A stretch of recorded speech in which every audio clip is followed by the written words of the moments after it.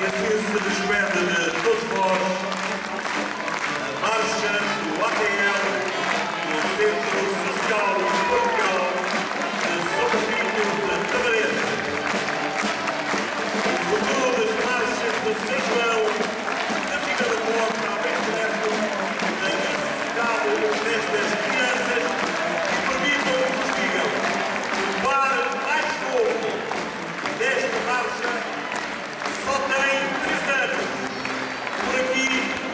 povo foi explicado.